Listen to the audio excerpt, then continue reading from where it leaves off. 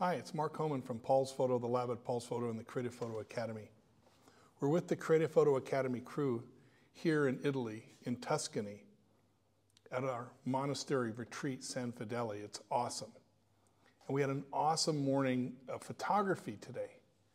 And we decided to take a couple minutes, actually a couple hours, and begin to process our photos.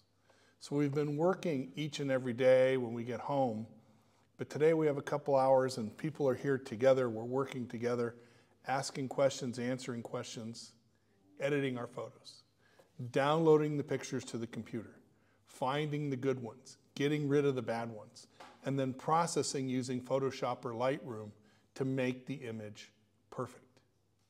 If you're going to share a photo, make it perfect, make it ideal. Don't satis be satisfied with something that's almost there. Because every image I post online, it's like entering a contest. I want the best of the best.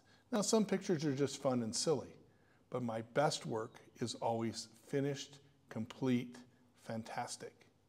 Don't settle for less. Learn to work the computer. Learn to use Lightroom, Photoshop, or whatever editing software you're using to the best. Every day on this trip, I've shot a thousand photos, but I'm saving 20 to 40 pictures a day. Just the best of the best. Throwing out the rest, backing up my favorites, and then processing to make them perfect.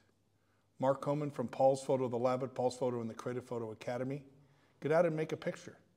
Make it perfect and share it.